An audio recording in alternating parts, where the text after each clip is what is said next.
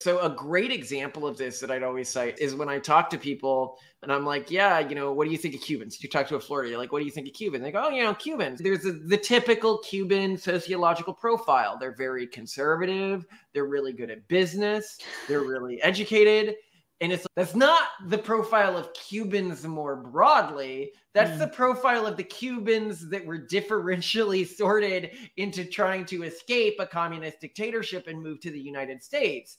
You know, mm. to an extent within any immigrant population, depending on how the the sorting worked, you're often going to get a very specific sociological profile that may not be the dominant sociological profile of the mainland population. Would you like to know more? So, Malcolm, you know how someone in our family once called me a vortex of failure? Yes, somebody did. They're like, Simone is a vortex of failure, Malcolm, and she is pulling you down. Well, there are other types of vortexes that I think you find very interesting, and I have failed to understand why they're so interesting. So, can you please explain your concept of evolutionary vortexes with this old vortex of failure? Yes. Well, so this is a very interesting thing for us. So, a lot of people know that we don't believe that there are persistent, meaningful genetic differences between things that we in our society view as things like ethnic groups and stuff like that. Right. Um, and you see like the concept of racism or, or race supremacy as being like pretty freaking dumb because like I don't know. Given no, evolutionary, why is it dumb? It's dumb mm. because small groups, family groups, religious groups, local environmental groups. It's not because we don't believe that genetic differences don't exist between populations. We just believe that they change way, way, way, way, way, way, way, way, way, way, way faster than this like you know, hundred thousand year difference that defines ethnic groups. Exactly. So a great example of this is like San Francisco, right? when you look at San Francisco, you had this environment where during the gold rush, you basically had a siren call to people from a diversity of ethnic and cultural backgrounds that said anybody who uniquely is drawn to high risk, high reward economic opportunities move to this area.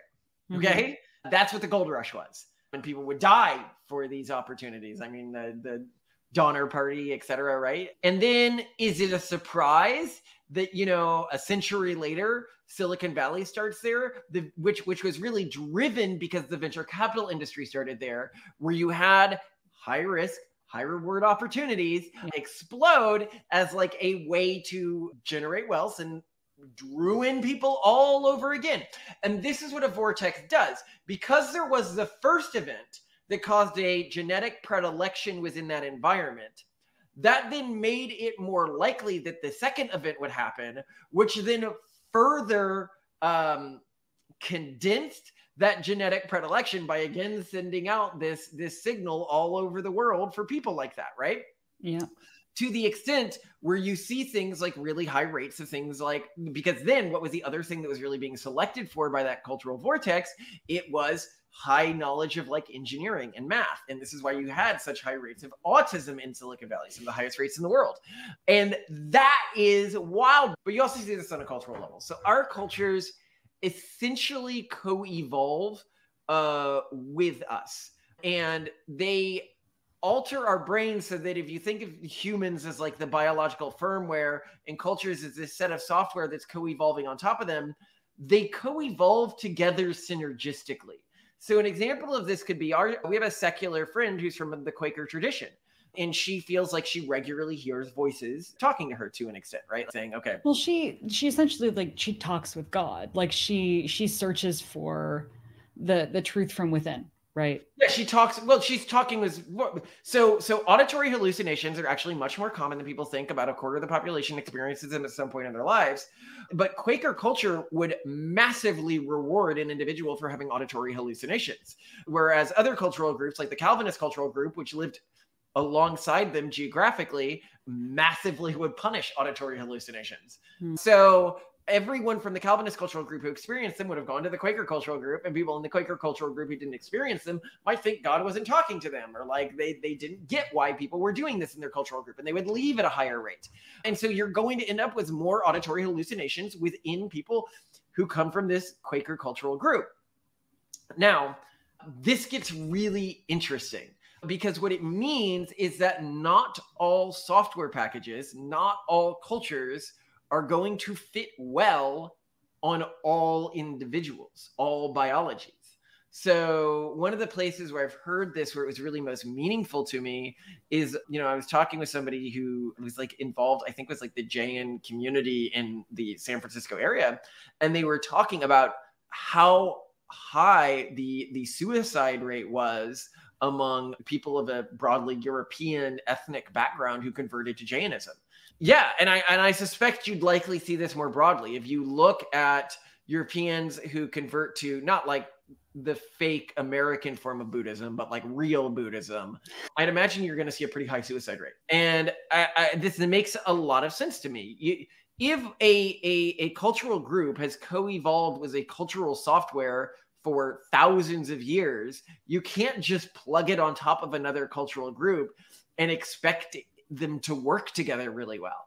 And this is why when we say our goal is genuinely, people are like, Are you trying to recruit people into your weird secular Calvinist thing? I'm like, No, I, I do not think most people would really thrive in an environment where it is constantly reinforced how sinful happiness, music, fun is, right? And again, this is something that people don't get. So people can say, oh, then why do you do things that are sinful? Why do you do things like, you know, drink alcohol, for example, right? There's no efficaciousness behind that. And and the the the, the real key to sort of Calvinism as a as a cultural understanding is is mankind is wretched. You know, we are completely morally destitute. And it's through recognizing that destitution we can begin to try to improve ourselves. And so it is very important to be able to say, yes, I will still sin because I am man. I am like my soul is a maggot covered loaf of barely edible sailor bread. But at the very least, what I shouldn't do is try to glorify my sin, try to act like my engagement with self masturbatory behaviors, whether it is exercise for the point of physical vanity or music or drinking or anything, pretend that that is a positive trait instead of what it is a moral failing. Now, this cultural group is something that most people I, I just don't think would like really mentally thrive in engaging with, whereas you and me, we really mentally thrive when engaging with this cultural group. And this is also why I'm broadly against people who preach like Stoicism more broadly. I do not think Stoicism works for the average person. And I think that pretend does causes people to spiral and become, you know, drug addicts and barely function, right? Like it's it's not a good thing and and that it's more important to look to your ancestral the way that your your ancestral traditions work and try to reform them for a modern environment to be strong for a modern environment without going into these cool sounding like manly sounding movements right um, well because again your your like evolved mental landscape probably isn't designed to thrive with non-native mindscapes cultures yeah. Yeah, yeah, yeah. And it's it's why in the the pronatalist movement we are not about trying to convert people to our way of thinking because I don't think our way of thinking is compatible with most human biologies. But this leads to another really interesting thing, which is when a cultural software group is really, really, really, really, really, really good against defending against a specific type of mindset or sociological profile, Mm-hmm. It can lead to that sociological profile existing within populations under that cultural group at much higher rates than they do in other populations. So let me explain this in different words. Hmm. If a culture is really good against defending against a specific type of thing or preventing that thing for leading the individual to spiral out of control or not breed for some reason, you will see that thing at higher rates within that cultural group. So if you're talking about Calvinists, traditionally one thing that's always known about Calvinists is they're like unusually happy. They have like really high happiness set points and unusually energetic. to the extent where like some of the quotes and if you look at Albion's Seed, you know, that the Calvinists invented the rocking chair uh, just so that they would never have to stop moving. Um, or that people would mark when they go to these territories that people would run everywhere they were going. And this is something I actually did in high school. I remember wondering why anyone ever walked when they were alone when you could always run up to a place and get it done faster and more efficiently. And a normal cultural group is actually likely going to select against like this level of happiness hmm. because people who like are overly happy may just be content with their lives or may not breed or may spiral out of control in some way. This is also probably why calvinist groups drink as much as they do. So that's another thing one of the so where i'm from in texas there's a saying which is that what is it? Jews deny the divinity of jesus. Protestants deny the pope and Baptists deny knowing each other at the liquor store. And when they say Baptist here, they're talking about primitive Baptist, which is a type of Baptist, which is most common where I'm from, which is a Calvinist group. And it's because they had this cultural software that was like good at preventing people from drinking to an extent but but when people began to like when it began to soften when the rule stopped people who had this intrinsic drive to drink at this high a level in most other cultural groups were just removed from the gene pool because they drank themselves to death. Mm-hmm. Whereas in this cultural group, there was enough of a protectant pressure on that that didn't happen. And so you get really high rates of alcoholism within Calvinist populations. And you also get stupidly high rates of happiness. You also get stupid. So the things that a culture tells you not to do, you will begin to see as a vice within that culture as a, the cultural waterline recedes. So mm. let's talk about a few of these because they're really interesting to me. Okay. So probably the the the biggest one that we've mentioned before, but I just can't mention enough because it's so glaringly obvious to anyone who could see it, is Catholicism as a cultural group is really, really good at guarding against familial nepotism.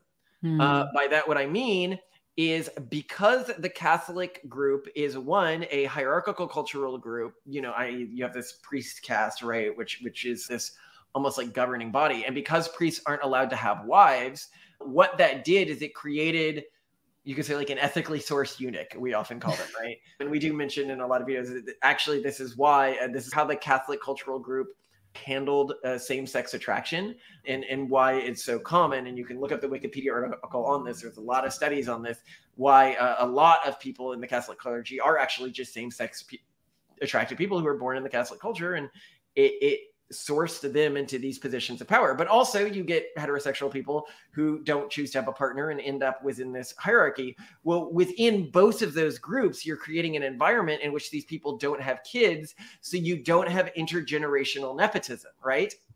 Right. And historically, within many of these, these Catholic cultural groups, a lot of stuff was run by the church. So they never really needed to guard against what is called amoral familial nepotism. Now, if you look today around the world, pretty much everywhere in the world where a Catholic group is dominant, you know, whether you're talking about Italy or, or most countries in South America or, you know, et cetera, you have extremely high rates of amoral familial nepotism. And by that, mm-hmm. what I mean is individuals promoting members of their own family over more competent individuals who aren't in their family. And so, if you're not from a group who understands amoral familial nepotism, that can seem really unethical to you to promote your brother just because they're your brother instead of because they're competent. Whereas to a cultural group that doesn't have protections against amoral familial nepotism, cultural protections, they're going to be like, it would almost be immoral to not promote your brother because like he's family. Of course you're going to promote of course you're going to hire family first. Of course you're going to promote family first. What are you thinking? And and this is something that their their culture had gotten so good at protecting against that the secular cultures that sort of evolved underneath it as well as sociological profiles that evolved underneath it became really really susceptible to this uh, i think from the perspective of other cultures, it would be a vice, but from their culture, it's not. You know, in Jewish culture, a great example is it's a sophicism or, or sophistry and mysticism. So we've said that Kabbalism uh, for Jewish mysticism is sort of like a fly trap for people with a sociological profile that is susceptible to mystical thinking or who's really good at mystical thinking. So if you watch our video on how garden gnomes are destroying academia, we talk about this, how some individuals can have a really, really high level of uh, verbal intelligence, but a really low level of general intelligence or other types of intelligence. And these individuals can be incredibly dangerous to any group that they're in because people will, you know, when somebody's like really good at engineering but not good at anything else, nobody thinks they're like good at other things. But if somebody's really good at sophistry but not good at anything else, it's very easy to misjudge that and believe that they are broadly competent and begin to take advice from them and then begin to fail as a cultural group. Mm-hmm. Um, but the Jewish cultural group, it has this really great defense mechanism against these individuals, which is Kabbalah, which is sort of like a fly trap for these people. They get engaged in it and they go really deep in it, but in a way that can't be that damaging to the broader society or cultural group. What it means, and if you look at studies on this, this is a great thing. We might do a video on this because we write a lot on it in the Pragmatist Guide to Crafting Religion. Is that this belief that, that Jewish groups are like much higher IQ than other groups? But that's actually not true if you look at any of the research. They just have much higher verbal intelligence than other groups and and that's why you have this whereas other groups would select against that so you always have some sort of parity of verbal intelligence and other types of intelligences mm-hmm. So well, my I mean, question to you is i mean you're able to look at how a culture essentially creates a certain type of person. What could people who are crafting culture what could cultural entrepreneurs be working into their cultures, their cultural technologies and, and amenities that would create people who have, I guess, specific advantages in more what we're interested in, right? Which is is is building the future. You know, being the people to build the infrastructure, the technology, and the governing societies of the future. Yeah. So there's two broad answers to this question, right? One is let's assume genetic technologies didn't exist and the most important takeaway of genetic technologies don't exist is the thing that your culture is best at protecting against is going to be the thing that was in the biology of people under your culture sort of spirals out of control as a predilection.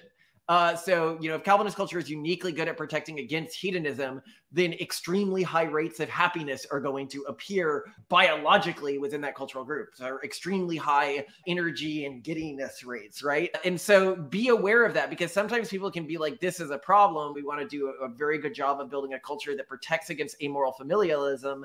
And then, through protecting against that, you end up with really high rates of amoral familialism just i guess naturally form underneath that culture yes. however i think that this trend is not relevant into the future okay hmm.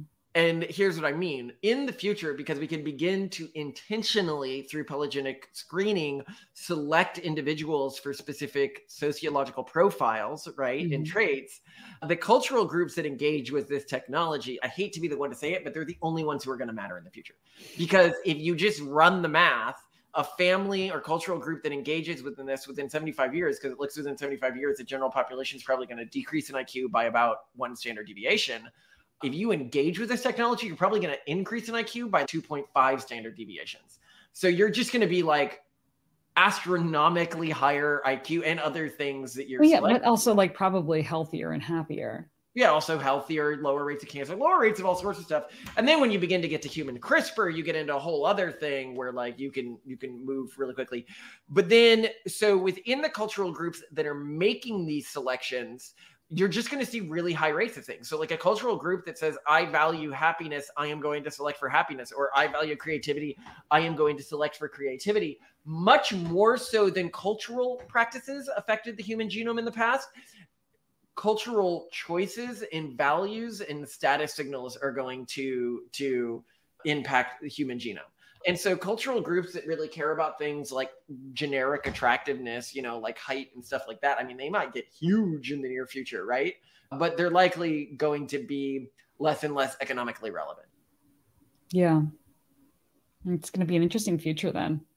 Well, I uh, want to know why you thought this wasn't an interesting topic because you're like, Malcolm, this seems like a really boring topic. I guess uh, maybe because we talk about it so much, to me, it's obvious. It's well, duh. If you create through your culture your own set of evolutionary bottlenecks, of course you're going to shape who you create. Huh you know, if we all live in a desert environment, maybe we're going to deal better with heat and, you know, hydration. We're going to turn into camels. I don't know. It just seems, well, thanks. You know, I'm, I'm glad Sorry, that and by the discovered way, that when is something you see. So, like people who live in really high, like mountain environments, they become more barrel chested. They develop more. They, yeah, they tend to be smaller, smaller and, and have larger lung capacity. Yeah. All species respond to evolutionary pressures. Of course, if you create a culture that has evolutionary pressures, humans will respond. It's just, okay, well, thank you for letting me know that studies show that when you drop something, it falls to the ground. Okay. You understand no one else is talking about this, right? You've got Yeah, but that's because I think people and, and this is this is something that's interesting, which is that culture is a highly underrated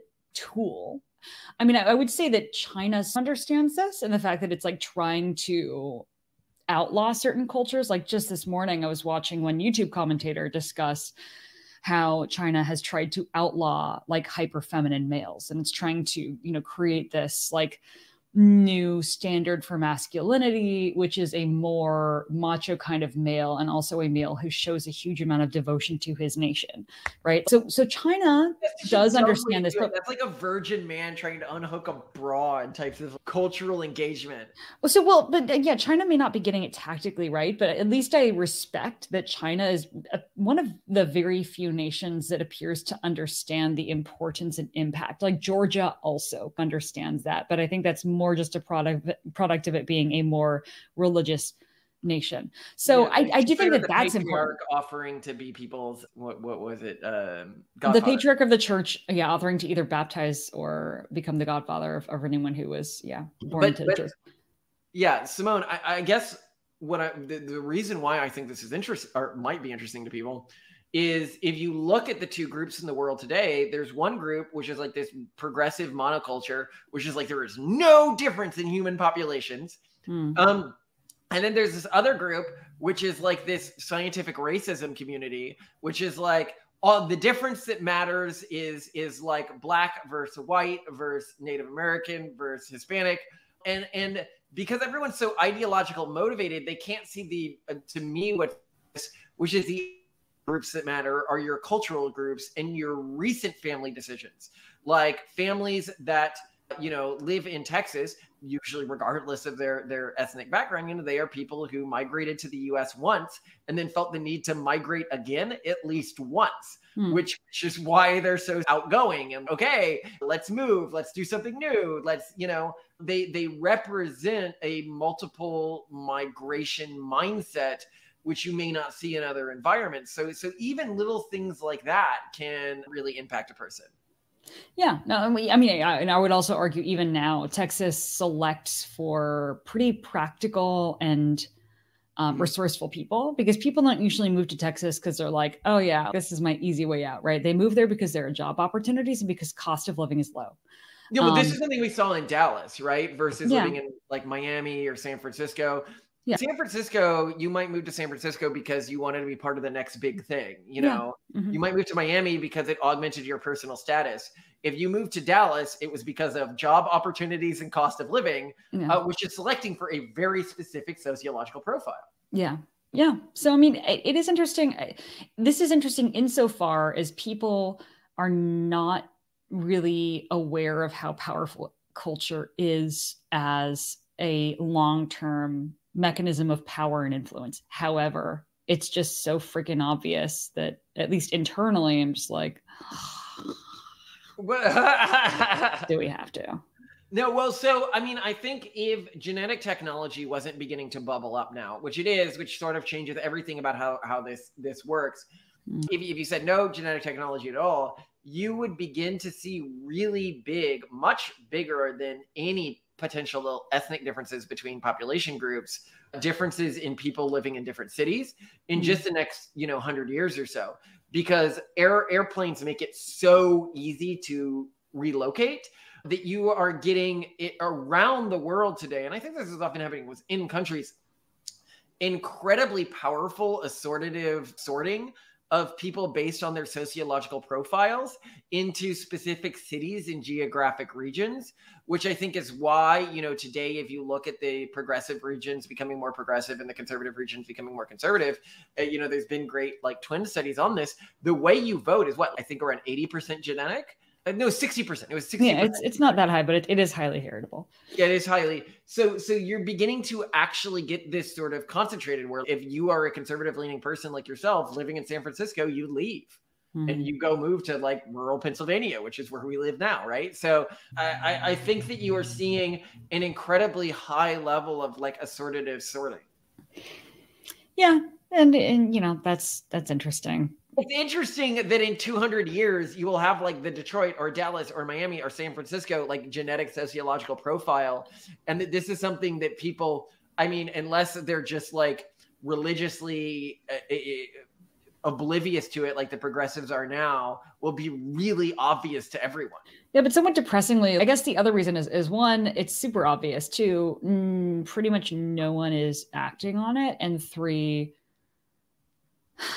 like you know, no no one is going to do anything about it, or they'll flub it like China is flubbing it, uh, or China appears yeah. to be flubbing it at least. So you know, if if it's that kind of thing, it, will will it matter? You know, because no one's going to pull it off. like, I well, it know. matters in terms of how you look at it. So a great example of this that I'd always cite is when I talk to people and I'm like, yeah, you know, what do you think of Cubans? You talk to a Florida, you're like, what do you think of Cubans? They go, oh, you know, Cubans, they're all you know, they, they, there's a, the typical Cuban sociological profile. They're very conservative. They're really good at business. They're really educated. And it's that's not the profile of Cubans more broadly. That's mm. the profile of the Cubans that were differentially sorted into trying to escape a communist dictatorship and move to the United States. And to some extent, this is what you see with the, the Taiwanese sociology. Like why is Taiwan able to have all these advanced semiconductor plants that nowhere else in the world seems to be able to run at a large scale?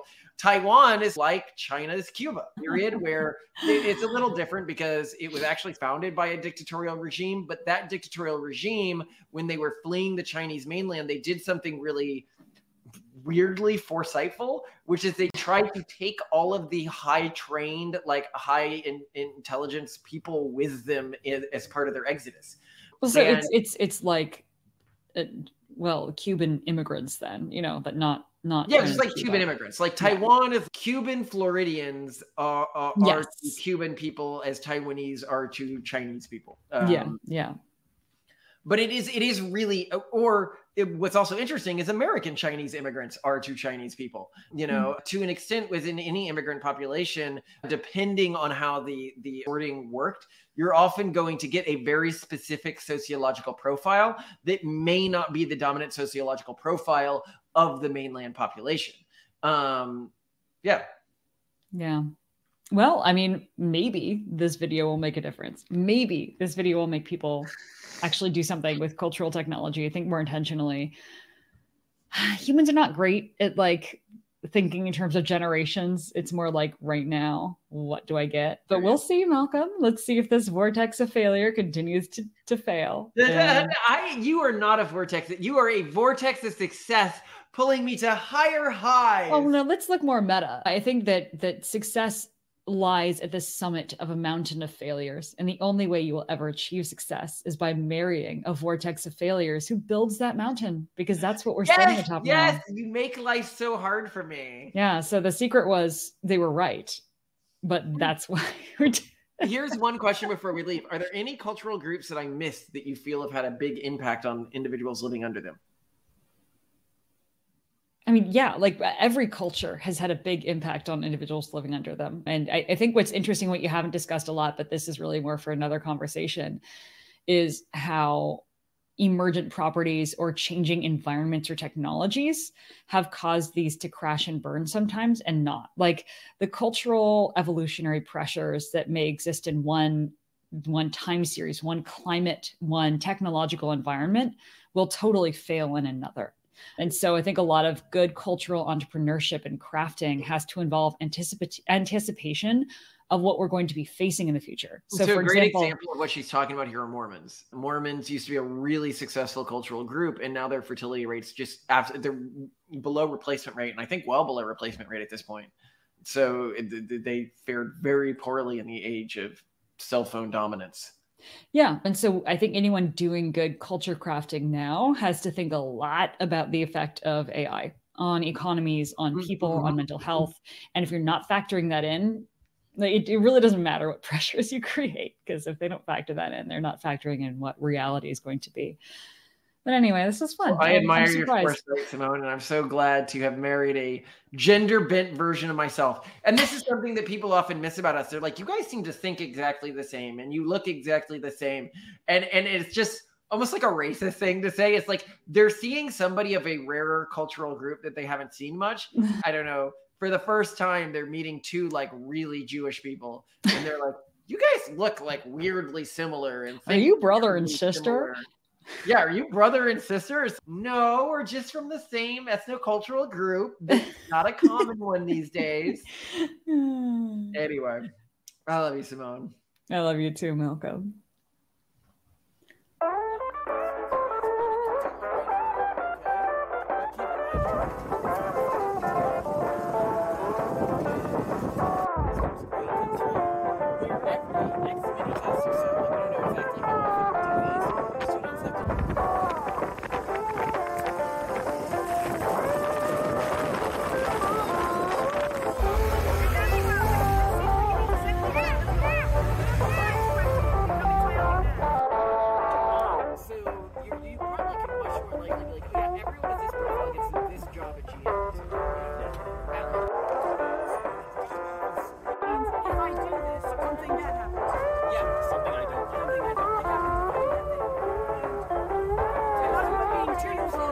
Two years